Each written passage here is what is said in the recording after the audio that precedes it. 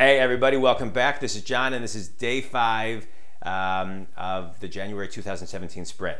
So it's Friday, and we have worked really hard this week, create, uh, committing to habits and brushing up business plans and reviewing the org chart and making sure people are in the right seats um, and doubling the metrics that will double our business. Today, I want you to spend time as you're looking at January um, forward through the course of the rest of 2017 and create and execute on an effective marketing and branding campaign.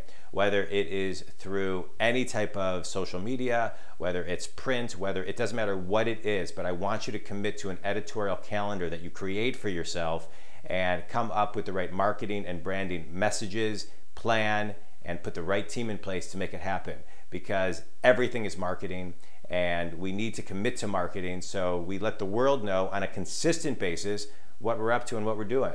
So commit to that. And this has been uh, your five day sprint in 2017. More tips next week. Uh, have an amazing day and always think big.